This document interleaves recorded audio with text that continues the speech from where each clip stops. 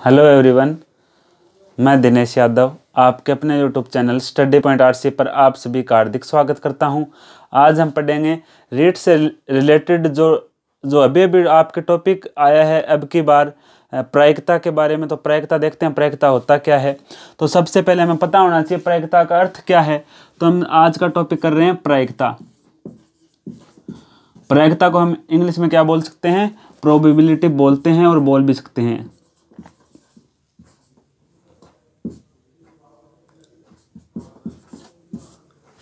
प्रायिकता को प्रोबेबिलिटी बोलते हैं तो सबसे पहले हमें पता होना चाहिए प्रायिकता है क्या।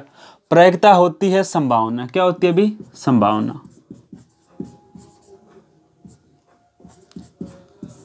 संभावना किसकी संभावना? कोई भी घटना घटित हो रही है, उसकी संभावना को हम क्या कहते हैं? प्रायिकता किसकी? घटना घटित होने की. घटना घटित होने, कोई भी घटना घटित हो रही है, मान लो भारत पाकिस्तान का मैच हो रहा है, वह क्या है, एक घटना है या उसको हम देख रहे हैं तो उसके अंदर कौन जीतेगा, कौन हारेगा, वो क्या है, इसके अंदर क्या घटना घटित होगी, वो हमें उस, उसकी संभावना को हम क्या बोलते हैं, प्रायिकता घटना घटित होने की संभावना किसकी है, घटना घटित होने की। संभावना भी आपको पता होना चाहिए, संभावना एक तो होती नहीं है, संभावना कितनी होती है, दो। कौन कौन सी हो सकती है? संभव। और दूसरी कौन सी हो सकती है? असंभव।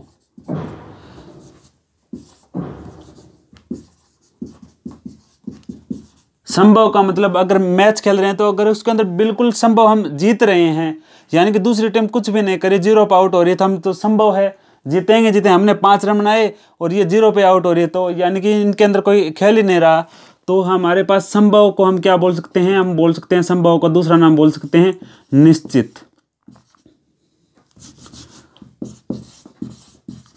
संभव को बोल सकते हैं हम निश्चित और असंभव को क्या बोल सकते हैं? अनिश्चित।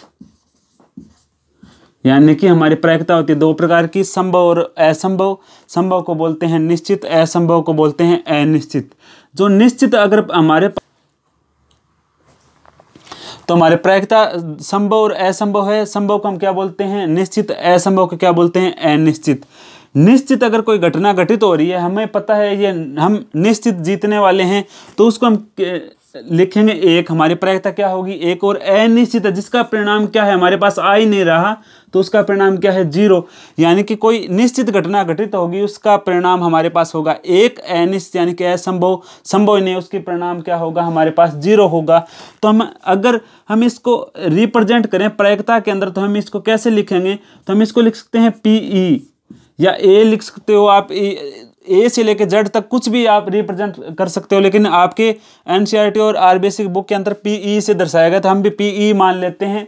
तो अगर हमारे पास अनिश्चित है तो उसको हम लिखेंगे पी ई डैश लिख बार लिख सकते हैं, या इसको हम दूसरा क्या लिख सकते हैं? पी ई डैश भी लिख सकते हैं। पी ई डैश भी लिख सकते हैं, यानी कि इन दोनों की बात एक है पी ई बार भी लिख सकते हैं पी ई डैश भी लिख सकते हैं। तो इन दोनों को हम जोड़ेंगे तो दोनों को जोड़ेंगे तो दोनों हमारी घटना, टोटल संभावना कितनी हो जाएगी? हमारी हो जाएगी एक प्लस ज़ीरो। तो हमारी संभावना टोटल कितनी हो जाएगी? एक। यानी कि हमसे कोई पूछे, टोटल प्रयोगता कितनी होती है? टोटल प्रयोगता हमेशा एक की होती है, ज़ीरो से एक के बीच होती है। सभी परिणामों को अगर हम जोड़ें, कितने भी परिणाम हो हमारे पास तो हमारे पास प्रायिकता का टोटल एक ही आएगा। कितने भी हमारे पास परिणाम हो, दस परिणाम हो तो दसों को जोड़ेंगे तो हमारे पास टोटल परिणाम कितने आने वाला है? एक आने वाला है। तो हम, हमारे पास यहाँ पर एक फार्मूला बनकर आता है, क्या आता है अभी? पी ई क्या आता है? हम इन इन दोनों को जोड़ रहे हैं तो फार्मूला क्या बन के आएगा? पीई और पीई का मतलब होने की प्रायिकता अगर पीई डैश को बोलें तो क्या बोलेंगे? पीई डैश इसको क्या बोलेंगे? न होने की प्रायिकता, यानी कि असंभव परिणाम। तो इसके, इसका मान हमारे पास कितना आ रहा है?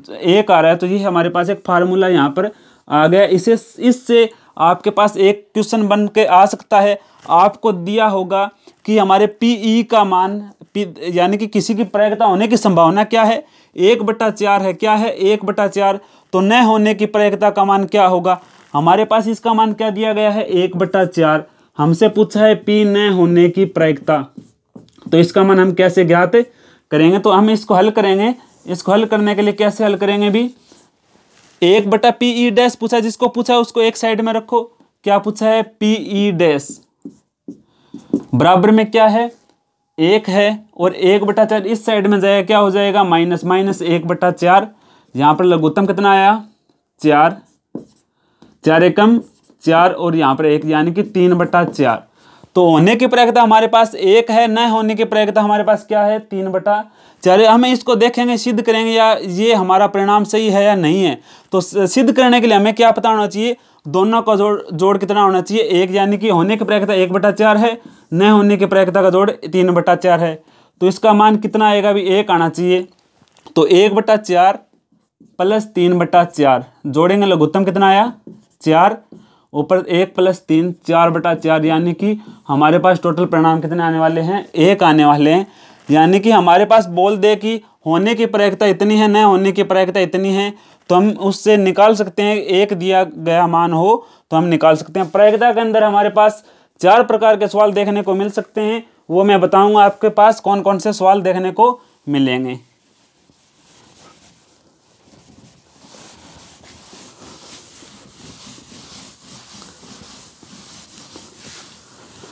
हमारे पास चार प्रकार के सवाल आ सकते हैं। पहले प्रकार का सवाल आएगा, सिक्के से संबंधित। किससे संबंधित? सिक्के से। इसके अलावा बस एक कॉन्सेप्ट ध्यान रखना है, सिक्के से संबंधित। दूसरा क्या आएगा हमारे पास? ताश से संबंधित। किससे संबंधित? ताश से। तीसरा क्या आएगा? पास्य से संबंधित। पास्य से संबंधित। और चार नंबर आ सकता है, संख्या से। या हम बोल सकते हैं अन्य। संख्या और अन्य। संख्या भी आ सकते हैं और अन्य सवाल के अंदर ही उसके अंदर पूछे जा सकते हैं। जैसे लेप वर्ष का पूछ लिया तो हमारे पास चार सवाल देखने को मिलेंगे सिक्के ताश पास्य और संख्या से संबंधित। तो हम सभी को अलग अलग से हल करेंगे लेकिन उससे पहले इससे एक फार्मूला और हमें निकालने को आ, मिलेगा। वो हम कैसे निकालेंगे? यहाँ से एक फार्मूला। हमारे पास पूछ ले सिक्के से संबंधित हम पहले सबसे पहले बात करेंगे, पासे से भी बात करेंगे ताश से भी बात करेंगे, संख्या और सभी प्रकार के बात करेंगे, लेकिन सबसे पहले हमें पूछ ले कि हम इनको हल कैसे करेंगे। तो आपके पास हमने थोड़ी देर पहले ज़िक्र किया था कि भारत और पाकिस्तान का मैच हो रहा है उसमें आपसे पूछ ले कि भारत के जीतने की प्रायिकता क्या है। तो भारत के जीतने की प्रायिकता क्या है? एक है, जीतने की पूछ रहे तो एक है, हारने की पूछ रहा तो ज़ीरो आनी आनी थी। यानी कि परिणाम कितने हैं हमारे पास? टोटल दो परिणाम है। कितने हैं? दो है। टोटल परिणाम कितने हैं? दो है। दो परिणाम है। तो दो में से जीतने की पूछ रहा है, एक जीतने का परिणाम है, एक क्या है? हारने का परिणाम है। जीतने का पूछा है तो एक बटा दो आ जाएगा। हारने का पूछा तो भी आधा आधा परिणाम है। एक बटा दो तो आधा भाग तो जीतने का है और आधा क्या है? हारने का है। तो हमारे पास पूछ ले कि इसका फार्मूला क्या होने वाला है? इसका फार्मूला क्या होगा? जो कुल परिणाम हमारे पास है, वो क्या लिखने हैं हमें? बटे में लिखने हैं और जो पूछे वो क्या लिखने हैं? ऊपर लिखने हैं। हमें जीतने की पूछा था, हमने जीतने के ऊपर एक लिख दिया और टोटल कितने हैं? दो है तो कुल। तो हम बोल सकते हैं कि हमारे पास जो हमें ज्ञात करना है, वो क्या लिखना है? ऊपर और कुल क्या लिखना है? हमें नीचे। तो हमारे पास यहाँ पर देखो, एक वर्त है, यहाँ पर ये यहाँ पर, आपका संख्या दी गई है? एक से छः तक, एक, दो, तीन, चार, पाँच छः तो हमें यहाँ पर पूछ ले कि सम संख्या आने की प्रायिकता क्या होगी? सम संख्या आने के टोटल परिणाम कितने हैं अभी? छः है। टोटल कितने हैं? छः है। सम संख्या आने की प्रायिकता क्या है? दो है, चार है और छः कितनी संख्या आ गई? तीन। तो तीन परिणाम है सम संख्या आने के। तीन बटे छः का मतलब एक बटा दो। तो ऐसे हमें यह सूत्र ध्यान रखना है। हमसे पूछ ले कि इसकी प्रायिकता क्या होगी? तो हमें याद रखना है अनुकूल परिणामों की संख्या बटे कुल परिणामों की संख्या। प्रायिकता का दूसरा फार्मूला क्या आ रहा है हमारे सामने? अनुकूल परिणामों की संख्या। अनुकूल। अनुकूल परिणामों की संख्या बटे कुल परिणामों की संख्या।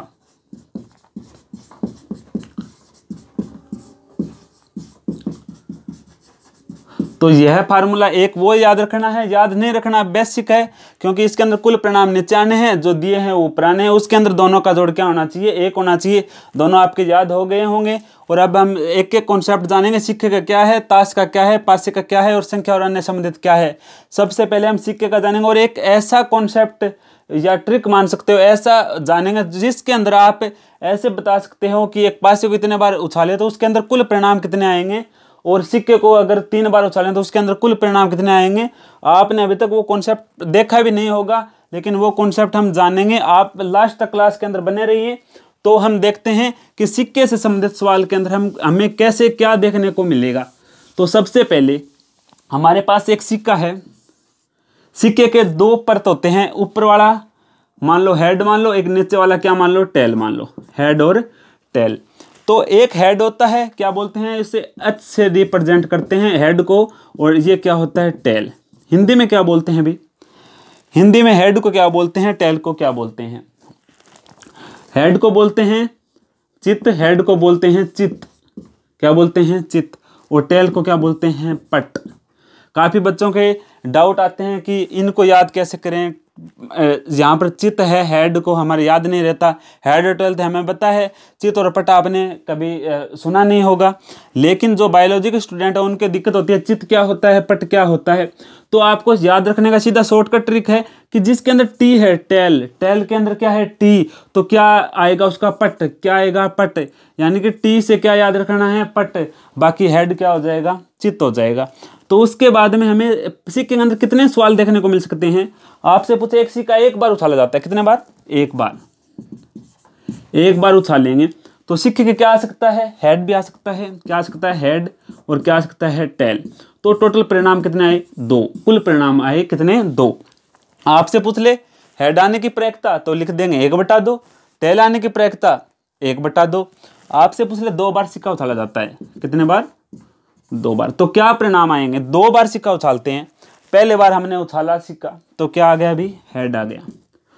दूसरी बार हमने उछाला तो क्या आ गया? टेल आ गया। यानी कि पहली बार हेड दूसरी बार क्या आ गया? टेल आ गया। फिर उसके बाद में क्या आ सकता है? पहली बार में क्या आ सकता है? टेल आ सकता है। फिर क्या आ सकता है भी हेड भी आ सकता है। उसके बाद में एक बार और उछालेंगे हम। यानी कि हेड टेल है यानी कि कुल परिणाम हम, हमारे पास अभी तक कंप्लीट नहीं हुए। पहली बार उछाला हमने हमारे पास आ गया टेल दूसरी बार भी क्या आ गया? टेल आ गया। चौथी बार हम उछालेंगे तो हमारे पास आ गया हेड हेड तो आप सोचोगे ऐसे हमारे याद नहीं होता कि ये चार आ गए तीन बार उछालेंगे काफ़ी आएँगे। तो वो भी मैं याद करने का आपको एक तरीका बताऊँगा। याद करने का तरीका नहीं है बिल्कुल शॉर्ट है। आपको कॉन्सेप्ट ध्यान रखना है। आप अगर आपको बोलते हैं तीन बार। अगर आपको पचास बार बोल दे तो भी वो हल करोगे। दस बार बोल दे तो भी हल करोगे, क्योंकि आपको उसके अंदर क्या आना चाहिए? ओनली केवल गुणा आना चाहिए। केवल सभी आप हल कर दो। तीन बार के लिए आपको बोल दे तो आप कैसे हल करोगे? एक बार क्या आएगा? हेड आ सकता है।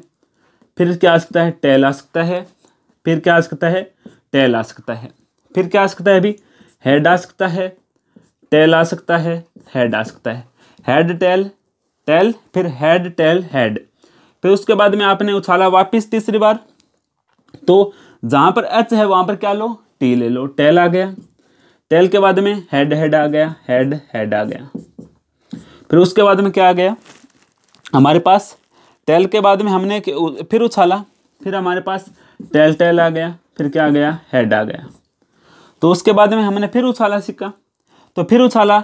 तो दो बार टेल आ गए तो पहले बार हेड आ सकता है पहले बार क्या आ सकता है हेड यहाँ पर इसका इसका विपरीत हो गया ये फिर पहले क्या सकता है हेड आ टेल आ सकता है फिर हेड आ सकता है फिर टेल आ सकता है फिर उसके बाद में क्या आ सकता है तीनों बार हेड आ सकता है तीनों बार हेड आ सकता है और तीनों बार क्या आ सकता है टेल आ सकता है और हमारे पास एक दो तीन चार पाँच छः सात एक परिणाम और होगा head tail head tail tail head के बाद में टेल हेड फिर टेल हेड हेड और टेल टेल हेड उसके बाद में हमने टी एच टी और उसके बाद में हमें कैसे उछालना है उसके बाद में हमें दो बार पहले टी आ गया पहले फिर पहले क्या आ सकता है एच आ सकता है क्या आ सकता है एच आ सकता है हेड आ सकता है फिर आ सकता है हमारा फिर हेड आ सकता है वापिस हेड आ सकता है फिर क्या आ सकता है हमारा टेल आ सकता है यानी कि हमारे पास टोटल आठ परिणाम हो गए तो तीन बार उछालेंगे, कितने परिणाम आएँगे? आठ आएँगे। दो बार उछालेंगे, कितने आएँगे? चार आएँगे। ये आपको एक बार ध्यान रखना है, फिर मैं इसका डायरेक्ट बताऊँगा आपको कैसे आपको याद रखना है। इसके बाद हम ताश से रिलेटेड देखेंगे और पाँच से रिलेटेड देखेंगे। तो इसके बाद हम देखते हैं, ताश से रिलेटेड यानी कि आपको याद नहीं रखना, दो आएँगे, चार आएँगे, दो बार उछाला, आठ आएँगे। तो एक बार मैं सभी को बताकर आपको एक बार शॉर्टकट में बता दूँगा कि ऐसे ये इनके परिणाम आने वाले हैं। तो आप आठ निकाल सकते हैं आपके तरीके से। तो उसके बाद में हम देखते हैं दो नंबर ताश से रिलेटेड ताश तो आपने खेला होगा, बचपन में खेला होगा तो आपके कुछ तो याद ही होगा। याद नहीं है तो मैं एक बार याद दिला देता हूँ, जिन्होंने ताश नहीं खेला, उनको भी डरने की कोई बात नहीं है कि ताश खेलने से हमें परीक्षा में पास होंगे। परीक्षा में पास हो गए आप अच्छे मेहनत और पढ़ने से। तो सबसे पहले हम दो नंबर वाला कॉन्सेप्ट देखते हैं, ताश। ताश से संबंधित कॉन्सेप्ट हमें क्या आता है? हमें बस एक बात याद रखना है, कुल परिणाम। कुल परिणाम ताश के अंदर कितने हैं? बावन। कितने हैं? भी बावन है। तो बावन है। बावन के अंदर हम दो भागों में बांट लें इनको, छब्बीस और छब्बीस। क्यों बांटा भी भी बांट दिया, आधे आधे कर ऐसे नहीं बांटना है, क्योंकि छब्बीस है, वो क्या है? लाल पत्ते हैं या लाल ताश है? और जो छब्बीस है, वो क्या है? काले पत्ते हैं। क्या है? काले पत्ते हैं। तो इनको भी दो दो भागों में बांट लो भी। छब्बीस को भी दो दो भागों में बांट लो। क्या? लाल भी तेरह तेरह कितने? तेरह तेरह इसको भी दो भागों में बांट लो तेरह तेरह बांट लिए क्यों बांटे? क्योंकि लाल भी है ना, वो भी कितने प्रकार के हैं? दो प्रकार के। कौन कौन से? तेरह तेरह है, ये भी तेरह तेरह कौन कौन से है? इसके अंदर क्या आएगा अभी लाल के अंदर? ईंट। क्या आएगा? ईंट। इसके अंदर क्या आएगा? पान आएगा। ठीक है? यानी कि टोटल थे बावन, हमने बांटे छब्बीस छब्बीस क्योंकि छब्बीस लाल है, छब्बीस क्या है? काले है। उसके बाद में हमने छब्बीस को भी दो भागों में बांटेंगे, क्योंकि जो लाल है हमारे पास, वो क्या है? तेरह तेरह है। तेरह इंट के हैं, तेरह पान के हैं। काले हैं, वो क्या है? तेरह क्या है? चिड़ी के हैं। क्या है? चिड़ी के हैं। और तेरह क्या है? हुकुम के हैं। कितने के हैं? भी हुकुम के। तो हमने ये भी बांट लिया। हमारे ये भी समझ में आ गया, लेकिन सवाल कैसे आएगा? ये तो नहीं समझ में आया। लेकिन टोटल थे हमारे पास बावन। बावन के अंदर छब्बीस थे लाल, छब्बीस थे काले। छब्बीस लाल के अंदर हमने बांटा, तेरह तेरह के अंदर तेरह ईंट के तेरह पान के और हमारे पास काले थे, तेरह चिड़ी के और तेरह हुक्म के लेकिन क्वेश्चन कैसे आने वाला है वो आपके अभी तक समझ में नहीं आया। अगर आ गया तो बहुत अच्छी बात है। तो उसके अंदर हमने, इसके अंदर तेरह है। तो तेरह को हम क्या कर लें? दस प्लस क्या कर लें? तीन। दस प्लस तीन। दस प्लस तीन। दस प्लस तीन। दस प्लस तीन क्यों किया है? दस प्लस तीन इसलिए किया है, जो तीन है ना, सभी के अंदर क्या है? तीन। वो क्या है? Face card. क्या है? सभी के अंदर तीन क्या है? Face card. Face card. यानी कि बोल सकते हैं तस्वीर वाले पत्ते। क्या बोल सकते हैं? तस्वीर वाले पत्ते। यानी कि तीन है ना, सभी के अंदर। उसके अंदर क्या है? फेस कार्ड यानी कि तस्वीर वाले पत्ते, तस्वीर वाले पत्ते एक के अंदर तीन है तो चार के अंदर कितने हुए? तीन चौके बारह। यानी कि टोटल कितने हुए? एक के अंदर तीन है तो टोटल हो गए हमारे पास बारह। ये तीन है कौन कौन से? अभी तीन है हमारे पास कौन कौन से है? एक तो है अभी बेगम। क्या है? बेगम। क्या है? बेगम। एक क्या है? बादशाह। क्या है? बादशाह। एक क्या है? गुलाम। बेगम बादशाह गुलाम। बेगम होता है बारह नंबर पे, बादशाह होता है तेरह पे और गुलाम होता है ग्यारह पे। यानी कि आप सोच रहे हो कि क्योंकि हमें उल्टा क्यों करवाया? बारह, तेरह, ग्यारह, ऐसे क्यों करवाया? लेकिन बेगम बादशाह गुलाम है तो हम इसको किस से लिख सकते हैं? बी से। इसको लिख सकते हैं बी से, इसको लिख सकते हैं जी से। तो आपको सीधा डायरेक्ट याद हो जाएगा बी बी, जी। क्या हो जाएगा? बी बी और जी। तो बेगम बादशाह और गुलाम तो बारह नंबर पे बेगम है। तेरह पे बादशाह है और ग्यारह पे गुलाम है। गुलाम सबसे क्या होता है? छोटा होता है। उसके बाद में बेगम बारह पे और उसके बाद में तेरह पे। याद करने के लिए बी बी जी, यानी कि बी का मतलब बेगम, बी का मतलब बादशाह जी का मतलब गुलाम। तो हमारे पास तीन क्या आ गए? तस्वीर वाले पत्ते आ गए। तीन तस्वीर वाले पत्ते आ गए। तो इसके अंदर ये दस है, ये क्या है भी? ये एक से लेकर क्या है? दस तक गिनती है। एक से लेकर क्या है? दस तक। एक से दस तक। ये भी समझ में आ गया। अब अगर अभी भी आपके समझ में नहीं आया तो मैं एक बार रिपीट ज़रूर करूँगा। तो आप उसके अंदर भी देख सकते हैं। तो यहाँ पर हमारे पास ये बी जी है, इसको हम कैसे बोल सकते हैं? तो आप आपको पूछ ले कोई भी क्वेश्चन के अंदर। बी जी है, देखो यहाँ पर ईंट है। ईंट है, क्या है? ईंट है। आपको पूछ ले कि ईंट के बेगम आने की प्रैक्टा क्या है? तो टोटल हमारे पास कितने हैं? बावन हैं। टोटल कितने हैं? बावन हैं। ईंट के बेगम आने की प्रैक्टा पूछिए। ईंट का बेगम कितना है? भी एक है। कितना है? एक। एक बटा क्या होगा? बावन। आपको पूछ ले, लाल रंग के बेगम आने की प्रैक्टा क्या होगी? लाल रंग का बेगम कितने हैं टोटल? लाल रंग के बेगम है हमारे पास दो। यानी कि उसको क्या बोलेंगे? दो बटा बावन। क्या बोलेंगे? दो बटा बावन, क्योंकि लाल रंग के बेगम हमारे पास कितने हैं? दो है। यानी कि एक ईंट का है, एक पान का है। तो टोटल हमारे पास दो है। आने की प्रक्रिया कितनी होगी? दो है। टोटल कितने हैं? बावन है। तो दो बटे बावन। हमारे पास अगर पूछ ले ईंट के बेगम आने की प्रक्रिया क्या होगी? दो बटे बावन। आपसे पूछ ले कि ओनली बेगम आने की प्रायिकता क्या है? तो टोटल बेगम कितने हैं? एक इसके अंदर है, एक इसके अंदर है, एक इसके अंदर है, एक इसके अंदर है। तो बेगम आने की प्रायिकता पूछिए तो टोटल बेगम कितने हैं? चार। तो हमारे पास कुल परिणाम कितने आ रहे हैं? बावन, चार बटा बावन। तो आपको सब दिमाग में ऐसे रखना है टोटल बेगम कितने हैं? चार है। लाल बेगम पूछ ले, दो। लाल आपको बादशाह पूछ ले, दो। लाल गुलाम पूछ ले, दो। आपसे पूछ ले, काला बेगम, दो। काले बादशाह, दो। काला गुलाम, दो। तो आपसे पूछ ले टोटल बादशाह चार। कितने हैं? चार। आपसे पूछ ले दो काले गुलाम। आपसे पूछ ले गुलाम कितने हैं? टोटल दो गुलाम, काले, दो और लाल। टोटल पूछ ले कितने होंगे? चार होंगे। तो आपसे गुलाम से पूछे, बादशाह से पूछे, बेगम से पूछे, दस आने की प्रायिकता क्योंकि दस सभी में। यानी कि जो एक से लेकर तेरह तक पत्ते हैं, वो सभी के अंदर है। तो तभी तो हमारे पास कितने आ रहे हैं अभी? तेरह चौके बावन। तभी क्या आ रहे हैं हमारे पास? तेरह चौके बावन। तो हम एक बार इस सभी को डिटेल को हम रिपीट करते हैं दोबारा से। दोबारा से किसका मतलब? अब आपको देखना नहीं है बोर्ड पे, केवल मेरे साथ साथ बोलना है। टोटल पत्ते कितने भी? बावन। कितने पत्ते? बावन। तो बावन में से काले कितने? छब्बीस। लाल कितने? छब्बीस। काले छब्बीस, लाल छब्बीस तो छब्बीस भी कितने भागों में बांटेंगे? दो में। कौन कौन से में? छब्बीस लाल है, उसको बांटेंगे दो भागों में। कौन कौन से भी? चिड़ी लाल को हम बांटेंगे पान और ईंट में। पान के कितने? तेरह। ईंट के कितने? तेरह। उसके बाद में हम क्या देखेंगे? काले के। काले कितने? तेरह चिड़ी के और तेरह हुक्म के। जो तेरह है उसके अंदर दस दस के अंदर तो क्या होता है? एक से लेकर क्या होता है? दस तक क्या होते हैं? अंक होते हैं। और जो तीन होते हैं वो क्या होते हैं? Face card. अगर एक भी आ, एक भी आपसे पूछ ले लाल रंग का फेस कार्ड या काले रंग का फेस कार्ड, यानी कि लाल रंग के हमारे पास दो है तो टोटल फेस कार्ड, यानी कि टोटल एक लाल के अंदर, चिड़ी के अंदर भी तीन है, पान के अंदर भी कितने हैं? तीन हैं। तीन आपके पास है इंट के अंदर तीन है आपके पास। आपसे पूछ ले, आपसे क्या पूछ ले कि टोटल आपके पास लाल बेगम आने की प्रायिकता कितनी है? तो तीन आपके पास बेगम एक क्या है? पान के अंदर है, एक क्या है, ईंट के अंदर है। तो उसको आपको बताना है कि हमारे पास दो है बेगम आ सकती है। तो मैं एक बार दोबारा से रिपीट कर रहा हूँ, यहाँ से आपको अगर कोई भी डाउट हो तो आप हमें पूछ सकते हैं। तो हमारे पास टोटल आपको ध्यान रखना है, टोटल पत्ते ताश बावन। कितने भी? बावन। टोटल, यानी कि कितने भागों में बंटे होते हैं? तेरह भागों में। तेरह चौके, बावन। यानी कि तेरह पत्ते होते हैं, चार भागों में बंटे होते हैं। छब्बीस लाल, छब्बीस काले। छब्बीस लाल होते हैं, वो कौन कौन से? ईंट और पान, तेरह तेरह, ईंट और पान।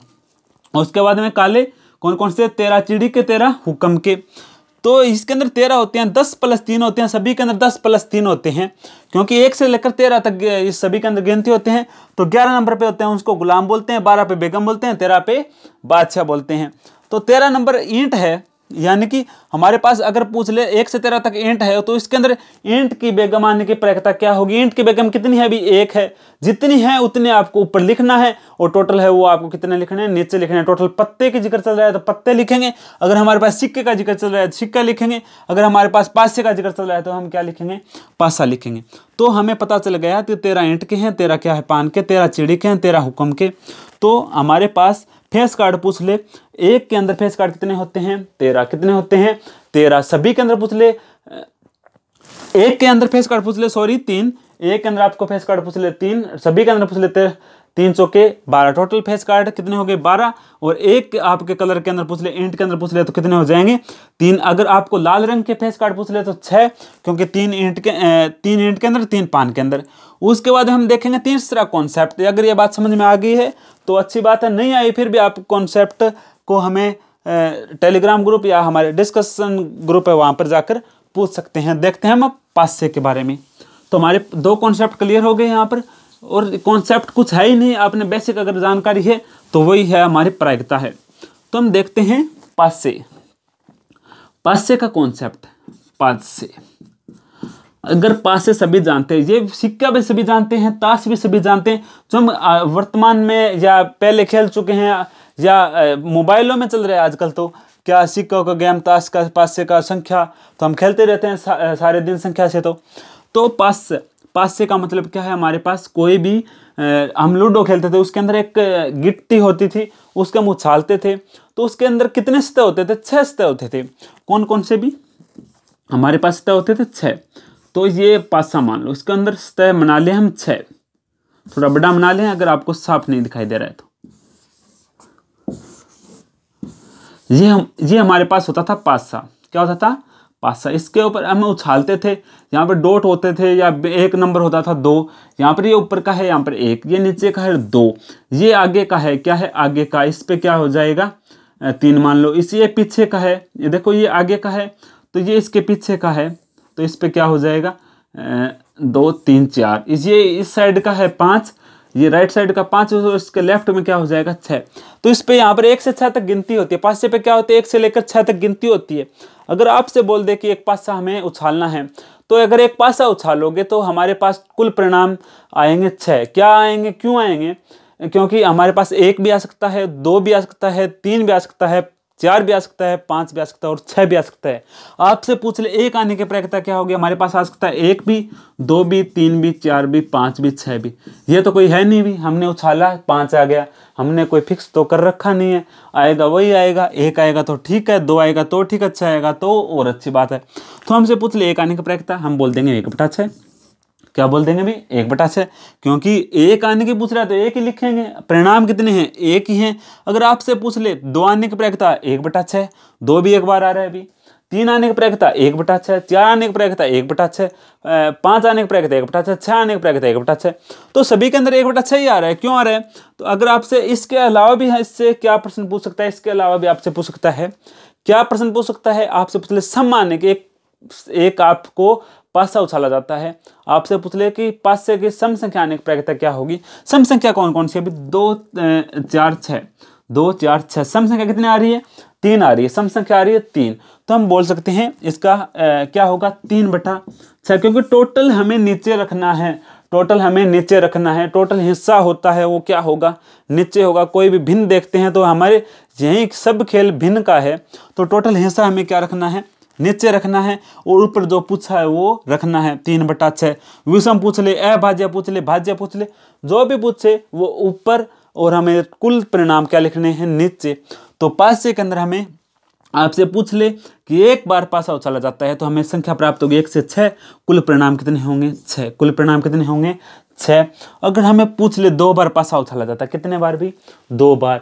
तीन बार भी पूछ सकता है, चार बार भी पूछ सकता है, ये ज़रूरी नहीं है, क्योंकि आपके रीट का पेपर है, आपके उसके अंदर साइंस के भी विद्यार्थी होंगे और मैथ के भी विद्यार्थी होंगे, दोनों को ध्यान में रखकर आपको मध्यम स्तर के क्वेश्चन पूछा जाएगा। तो मैं दोनों स्तर जो हार्ड मध्यम सिंपल से लेकर, सरल क्वेश्चन से लेकर हार्ड की ओर मैं जा रहा हूँ। तो इस विधि को आपको बताना है कमेंट बॉक्स के अंदर सरलता से यानी कि कठिनता की ओर जाने वाली हम उस विधि को क्या बोलते हैं, वो भी आपको बताना है। तो हम देखते हैं, दो बार उछाल दें। क्या बोलते, दो बार। क्या अगर एक पासे को क्या उछाल दें? दो बार उछाल दें। पासा दो बार उछाल दें। पासा एक दो बार कैसे उछाल दें? आपके दिमाग में क्या है पाँच छः एक दो बार कैसे उछालते हैं? अरे, पहली बार आपको उछालना है, फिर उसके तुरंत बाद दूसरी बार उछालना है। एक पासा दो बार उछालना है, परिणाम नोट करने हैं।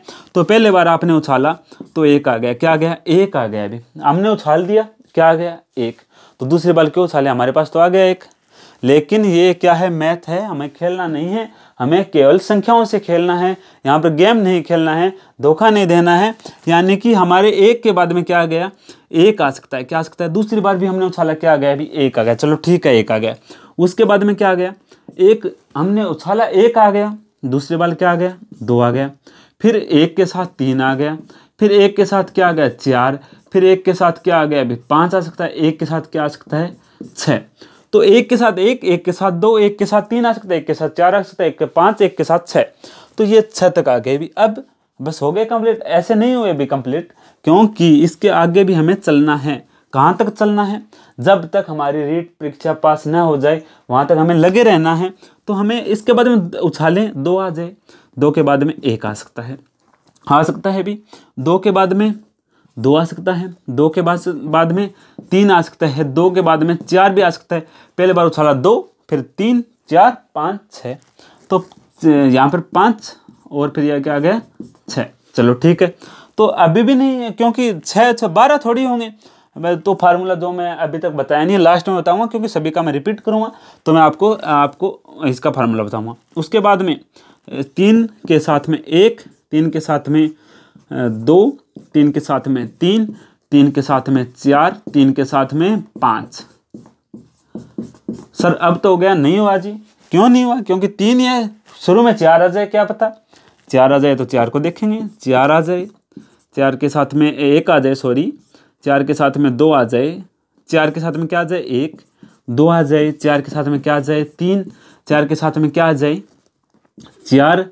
और चार के साथ में चार आ जाए, चलो। चार के साथ में पाँच भी आ सकता है ना? आ सकता है छः भी आ सकता है। चलो ठीक है जी। तो चार आगे अभी भी सर लंबा हो गया। लंबा नहीं आपको बस सीधा दिमाग लगाना है और कुछ भी नहीं करना है। आपको दिमाग का मतलब मैं लास्ट में आपको बताऊँगा इस इस वीडियो के लास्ट में आपको बताऊँगा कि आपको कैसे ये ध्यान रखना है इसके अंदर कितने आएँगे। तो उसके बाद में क्या है? पाँच। पाँच के बाद में एक आ सकता है। तो पाँच के बाद में दो आ, आ सकता है।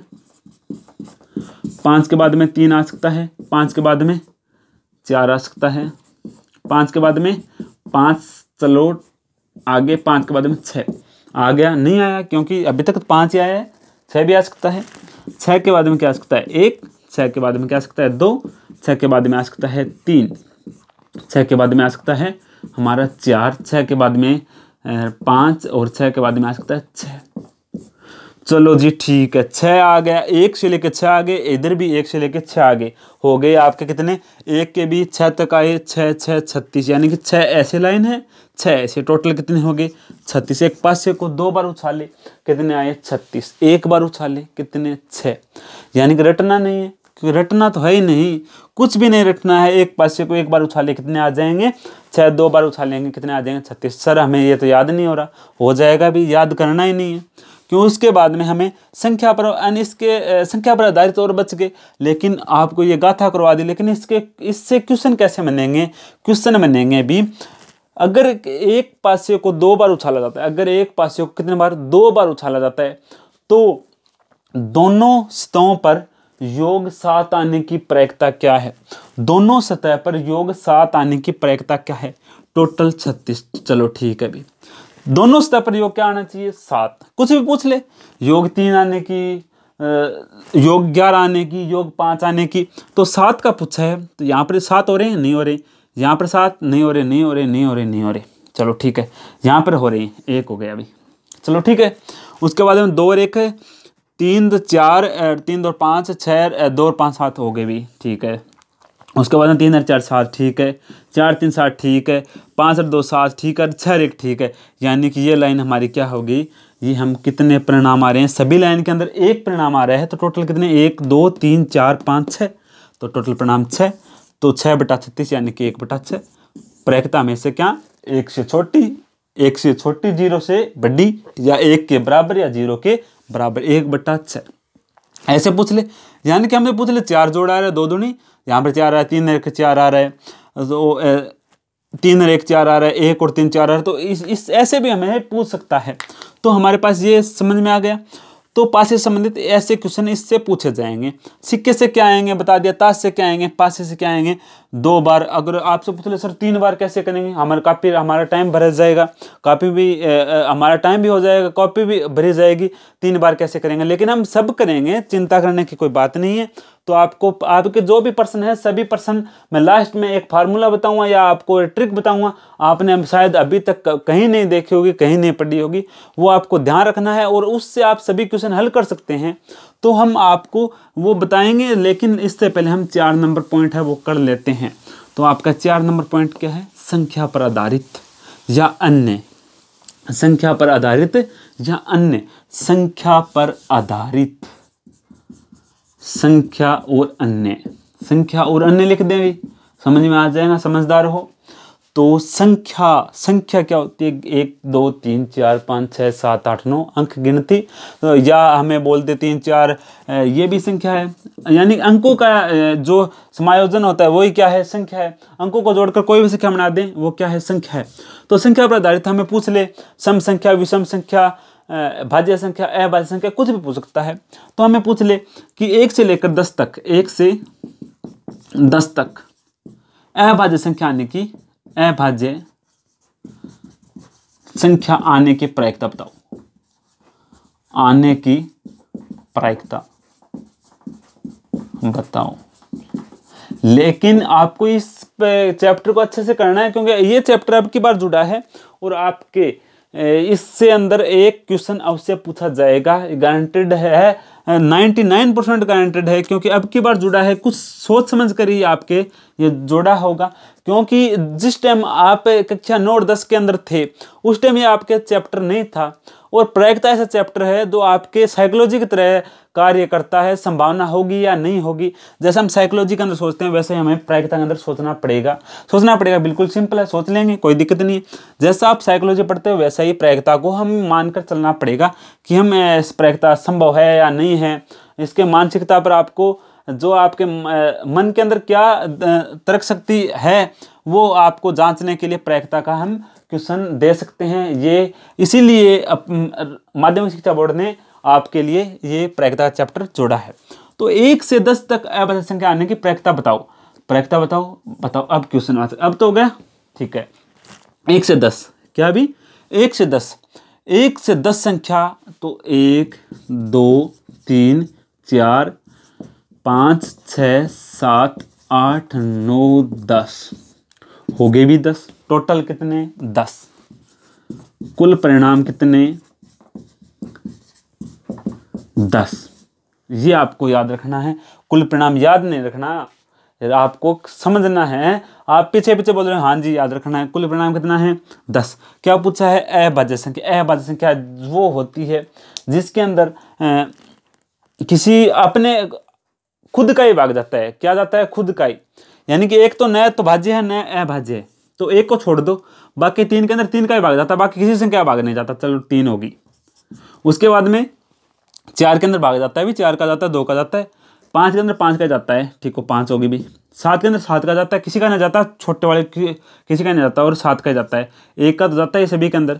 तो उसके बाद में आठ के अंदर आठ नहीं है नौ नहीं है तो तीन पाँच सात, क्या होगी? तीन पाँच सात।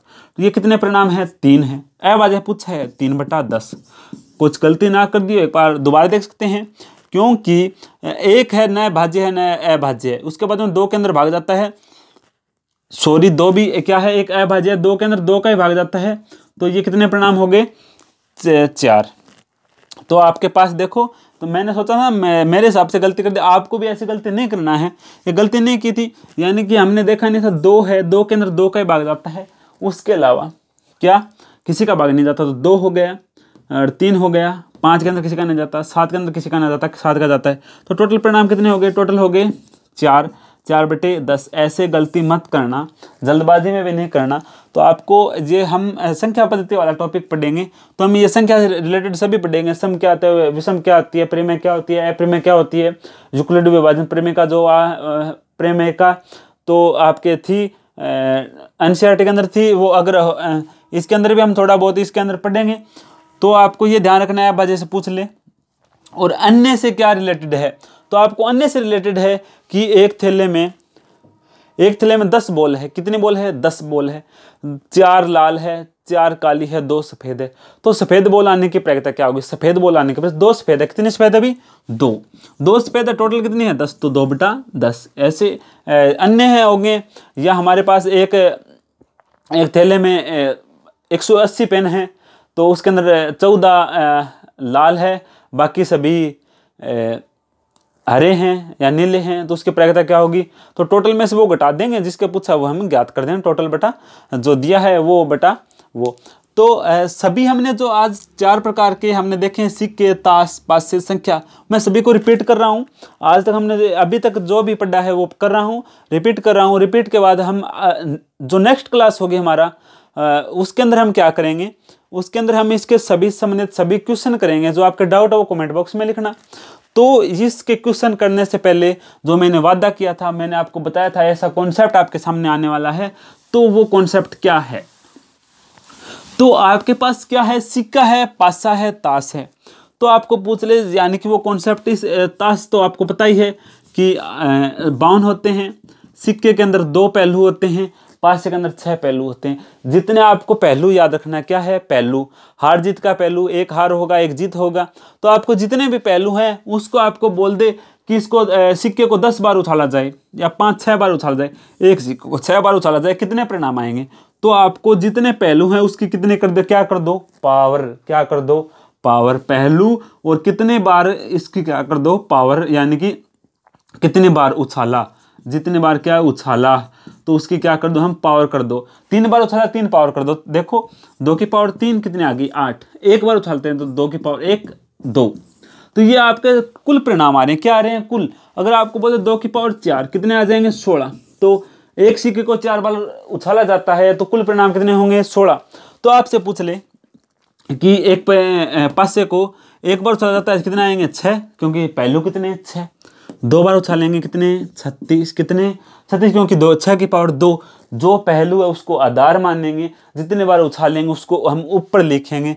तो यहाँ पर हमारे छः की पावर दो छः की पावर तीन पूछ ले, दो सौ सोलह। अगर छः की पावर चार भी पूछ ले, कोई दिक्कत नहीं है, बारह सौ छियानवे। कुछ गलती हो गई तो बारह सौ छियानवे होता होगा। गुणा कर लेना। छः के पावर पाँच पूछ ले सतहत्तर, शायद ये होता है। तो कोई भी आपको दिक्कत लगे तो आपको याद रखना है, जितने बार उसके पहलू है, उसकी इतने क्या कर दो पावर कर दो, आपके डायरेक्ट कुल परिणाम आ जाएँगे। आपसे पूछ ले कि एक पासे को, एक पासे को अड़तीस बार उछाड़ा जाता है तो उसके आपके ऑप्शन में मिलेगा, दो की पावर अड़तीस, क्या मिलेगा? अड़तीस, दो की पावर अड़तीस मिलेगा।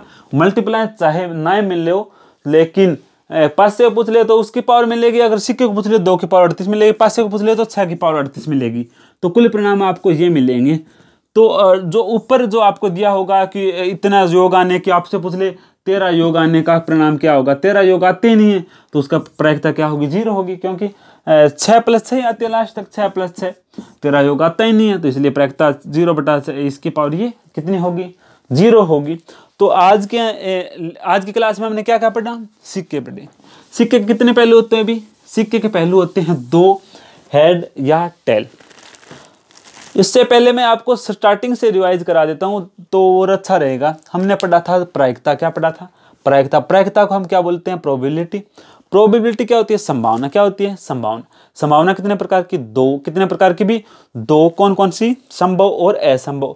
संभव को क्या बोलते हैं? निश्चित। असंभव को क्या बोलते हैं? अनिश्चित। असंभव को निश्चित, अनिश्चित बोलते हैं। संभव को निश्चित बोलते हैं। निश्चित होने की प्रायिकता क्या होती है? एक होती है अनिश्चित की प्रायिकता या असंभव की प्रायिकता कितनी होती है? ज़ीरो, जो परिणाम होता ही नहीं, उसकी क्या होगी? ज़ीरो। तो उसके बाद में हमने सूत्र पढ़ा था P, E plus P, E dash या ई बार बराबर एक, यानी कि प्रायिकता होने की प्रायिकता प्लस न होने की प्रायिकता इक्वल टू एक होता है। उसके बाद में हमने देखा था कि हमारे पास अगर वो ऐसे ना दिया हो, हमें अनुकूल परिणाम वाला सूत्र तो वो क्या है? प्रायिकता बराबर क्या है? अनुकूल परिणाम जो हमसे पूछा है, वो परिणाम बटा कुल परिणाम। उसके बाद हमने देखा था सिक्के से। सिक्के से हमने कितने पहलू होते हैं? दो हेड या टेल हेड या टेल हेड के अंदर क्या होता है अभी। हेड को हम बोलते हैं हिंदी में चित। क्या बोलते हैं चित्त और टेल को क्या बोलते हैं? पट। क्यों क्यों बोलते हैं?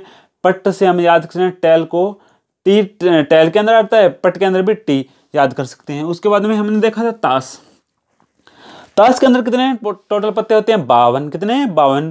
कितने प्रकार के दो छब्बीस और छब्बीस। छब्बीस लाल, छब्बीस काले। छब्बीस लाल है तो छब्बीस लाल के अंदर कौन कौन से होंगे?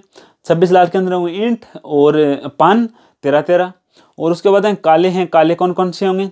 छब्बीस उसके अंदर तेरह बादशाह, तेरह चिड़ी। तेरह होते हैं, सभी के अंदर तेरह तेरह होते हैं। चलो तेरह होते हैं। चार प्रकार के हो गए। पान, ईंट चिड़ी, हुक्म। तो जो तीन होते हैं, वो क्या होते हैं? Face card. एक के अंदर तीन तो चारों के अंदर बारह। फेस कार्ड के अंदर कैसे याद रखना है? बीबी जी क्या याद रखना है? बीबी जी बीबी का मतलब दूसरा मीनिंग मत सोचना। तो आपको दूसरा सोचो, कोई बात नहीं है। तो बी बी का मतलब बेगम, बी का मतलब बादशाह, जी का मतलब गुलाम। तो सभी के अंदर क्या होते हैं? एक एक होते हैं। और लाल पूछ ले, दो होते हैं। लाल दो बेगम, लाल दो बादशाह, लाल दो दो दो होते हैं। और आपसे पुछले, काले पुछले दो दो वो होते हैं। एक के अंदर चिड़ी के अंदर क्या होता है? एक बेगम होता है, एक गुलाम होता है, एक बादशाह होता है। उसके बाद में हमने पढ़ा पासा। पासा, पासे के पहलू टोटल छः छः एक से लेकर छः तक गिनती होती है। उसके बाद में हमने पासे के अंदर भी पढ़ा, दो बार उछाल दें तो उसके कुल परिणाम कितने आएँगे? छत्तीस आएँगे। तीन बार उछाल दें, दो सौ सोलह। चार बार उछाल दें, शायद बारह सौ छियानवे आएँगे। और पाँच बार उछाल दें स्तंत्र छिहत्तर आएँगे। तो ये पढ़ने के बाद हमने देखा एक इसका जो लॉजिक होता है कि कुल परिणामों की संख्या पूछ ले, अगर एक सिक्के को हम चार बार उछालते हैं, कुल परिणामों की संख्या क्या होगी? तो उसके लिए मैंने बताया था, जो पहलू है उसके कितने कर दो? पावर छः बार उछाला जाता है तो छः पावर कर दो। पाँच बार उछाला जाता है, पाँच पावर कर दो। छः पावर करेंगे तो इसको छः बार क्या कर देते हैं? गुणा। छः पावर का मतलब अगर जिनको पता नहीं है, हम गाता का टॉपिक पढ़ेंगे और वो उस, उससे हल हो जाएगा। देखो, दो दुणी चार चार दुणी आठ आठ दुणी सोलह सोलह दुणी बत्ती बत्ती दुणी चौंसठ, कितना आ गया अभी? चौंसठ। तो कुल परिणाम कितने आ गए? चौंसठ। आज के लिए बस इतना ही। अगर आपको ये वीडियो अच्छी लगी है, पसंद आई है तो वीडियो को लाइक और चैनल को सब्सक्राइब करना ना भूलें। आज के लिए बस इतना ही। थैंक्स फॉर वॉचिंग धन्यवाद।